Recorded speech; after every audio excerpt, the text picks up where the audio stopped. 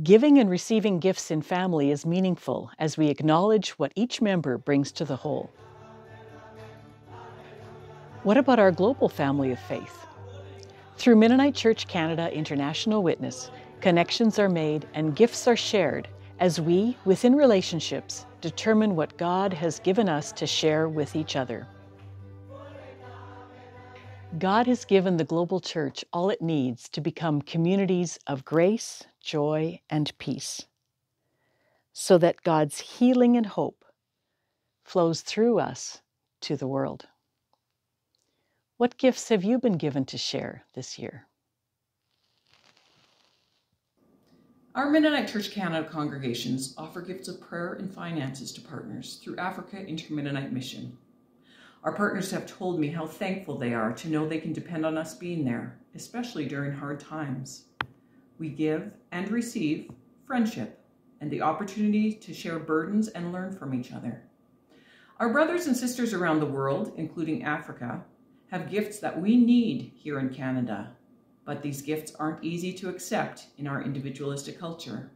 They're gifts like slowing down to listen more and speak less, making decisions based more on what the group needs and less on what I want, including prayer and meetings in our workdays to hear what God may be saying, giving generously and even sacrificially, not just of our excess, but of our daily bread. We are a clearer refle reflection of Christ when we're together. Can we build relationships to the point of being able to accept the challenging gifts our partners have to offer us? As a teacher here at Meserete Kristos Seminary, one of the gifts I bring is the gift of a different cultural perspective. As an Anabaptist from the West with special training in spiritual formation, together with 27 years experience as a pastor, I'm very happy to be able to share my faith and my experience with new pastors and leaders in MKC.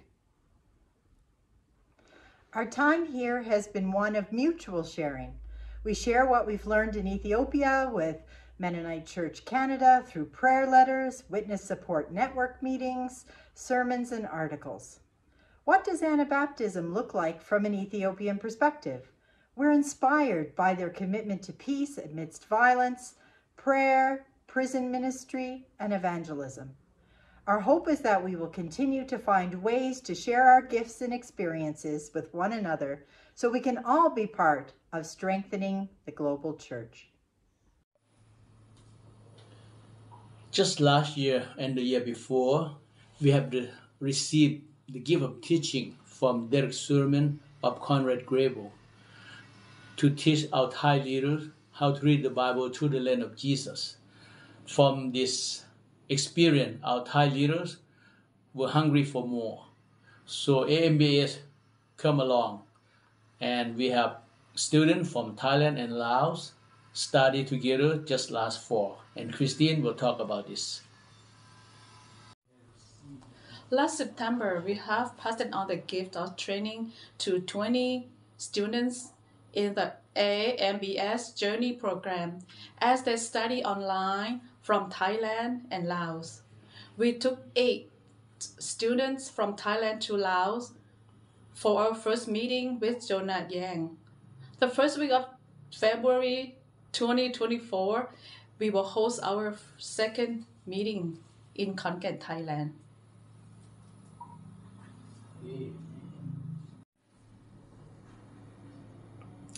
Last year, right at this time, I was able to be a part of MC Canada's learning tour to Thailand.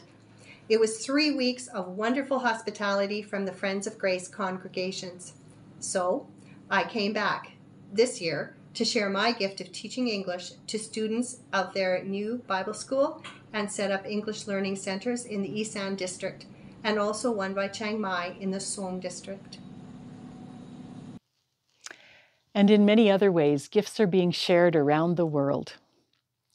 In South Korea, Philippines, Colombia, Burkina Faso, and more.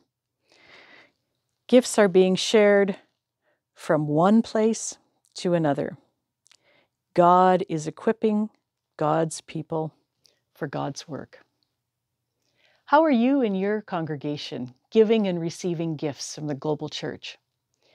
Talk to your regional church engagement staff to find out how you can lean into these relationships and become part of the global gift exchange.